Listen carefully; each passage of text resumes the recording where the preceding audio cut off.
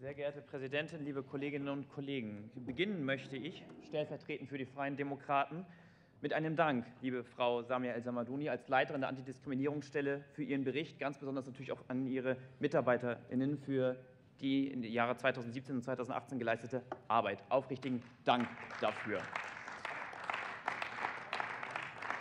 Und auch wenn sie in Teilen schon äh, erwähnt wurden, möchte ich trotzdem kurz einige Fälle anreißen. Wir haben zwei Männer afghanischer Herkunft, die gerne abends feiern gehen würden und abgewiesen werden, dass selbst ein ehemaliger US-Präsident, namentlich Barack Obama, hier nicht reinkommen würde.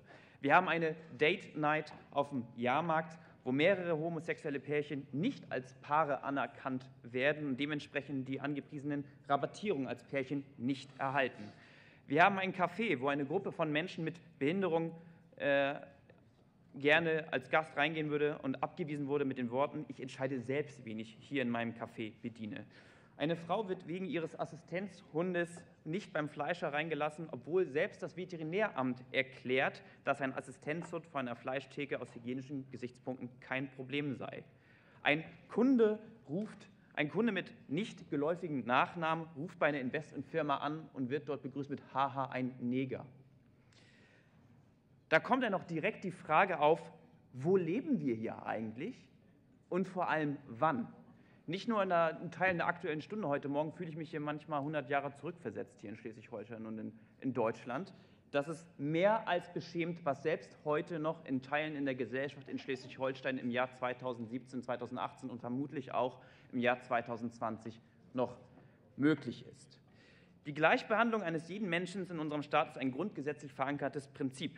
Durch das allgemeine Gleichbehandlungsgesetz wird es im Alltag und am Arbeitsplatz mit Leben gefüllt. Jeder Mensch, gleich welcher Herkunft, gleich welcher Region, gleich welcher äußeren Erscheinungsmerkmale, hat das Recht, vorurteilsfrei hier behandelt zu werden. Und das ist der liberale Grundsatz der freiheitlichen Grundordnung, den es zu verteidigen gilt, den es immer und überall zu verteidigen gilt. Und 341 Eingaben wurden bei der Antidiskriminierungsstelle im Prüfungszeitraum aufgenommen. Hinzugekommen all die Fälle, die ungenannt bleiben. Fälle, in denen die Betroffenen nicht den Mut oder die Energie hatten, sich an die Antidiskriminierungsstelle zum Beispiel zu wenden. Dabei hält uns dieser Bericht auch einen Spiegel vor, wo wir nachbessern können und auch müssen.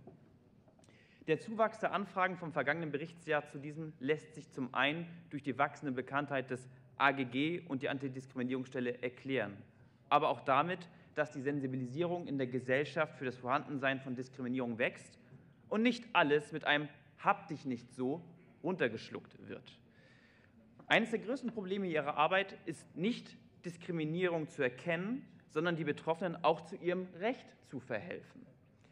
Die Betroffenen sind im Falle eines Rechtsstreites häufig auf sich alleine gestellt, die Hürden sind hoch oder man scheut sich auch, einen Gerichtsprozess zu starten und diesen auch bis zum Ende durchzustehen. Und die Antidiskriminierungsstelle des Bundes wiederum hat bereits 2016 einige konkrete Vorschläge gemacht, wie sie den Diskriminierungsschutz erhöhen kann. Beispielsweise durch längere Fristen zur Geltung machen von Ansprüchen, dass man beispielsweise auch mit einem gewissen Abstand erst dazu kommt, zu sagen, das ist wirklich verletzend, was hier passiert ist, und ich möchte, dass das beendet wird. Ähm, die Vorschläge des Europarates als auch der Europäischen Kommission gehen in dieselbe Richtung und die Bundesregierung hat 2019 zugesagt, dass sie diese Vorschläge prüfen wird. Wir werden das aufmerksam in Schleswig-Holstein verfolgen. Und den, Beginn, äh, den Dank, den ich zu Beginn geäußert habe, den möchte ich gerne erweitern. Denn nicht zu vergessen sind hier auch zahlreiche Kooperationspartner, die es gibt, die sich gegen Diskriminierung in Schleswig-Holstein wenden. Unter anderem auch beispielhaft die Beratungsstellen der LGBTIQ Community möchte ich hier besonders erwähnen und das Dank aussprechen, denn insbesondere Transpersonen werden weiterhin in vielen, eigentlich in allen Lebensbereichen, auch in Schleswig-Holstein, diskriminiert. Wir haben es gehört, selbst im Fitnessstudio werden sie gegängelt, wie wir in mehreren, Berichten, in mehreren Fällen in Berichten aufgeze aufgezeigt bekommen haben.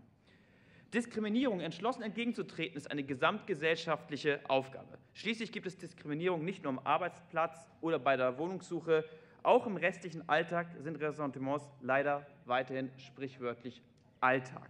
Und lassen Sie uns den vorliegenden Bericht als Kompass nehmen und unsere Anstrengungen in den aufgezeigten Bereichen weiter verstärken. Vielen Dank für die Aufmerksamkeit und die Anteilnahme.